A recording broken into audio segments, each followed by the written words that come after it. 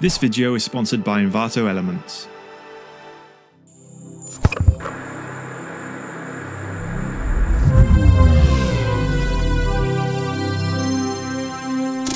Having recently dived back into the incredible Ghost of Tsushima, I've had samurais on the mind, but I didn't want to create a historical piece, but rather fast forward into the future to create a neon samurai. Now, I love working in the sci fi genre, and that's mainly due to the opportunities you get when it comes to playing with the glows, flares, and other cool lighting techniques. But for this piece, I wanted to focus more on the character rather than the setting, and hone in on using a set of manipulation techniques to sculpt and design my neon samurai. And for those wondering, for this piece, I download my assets from Envato Elements.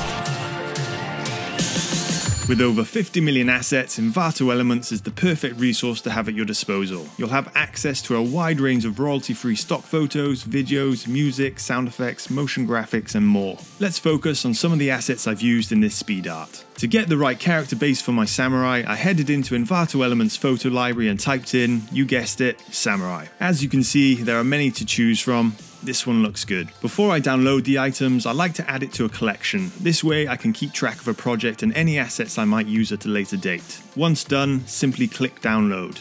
Another asset I need is a light fixture, but it needs to be at a specific angle. This is where Envato Elements 3D assets come into play. Type in your selection and select the asset needed. From here, you can rotate and select the angle that best suits your composition. You get unlimited downloads with Envato Elements, download all the assets you want with one subscription. If the angle you picked doesn't quite work, just jump back in and make another selection. Simple as that. If Envato Elements is for you, they offer 50% off an annual subscription. So rather than paying $33 per month on a monthly plan, you'll be paying $16.50 per month on an annual plan. I'll drop a link in the description below. If you've enjoyed this video then please like and leave a comment, subscribe to the channel and hit that bell to stay notified about any new content.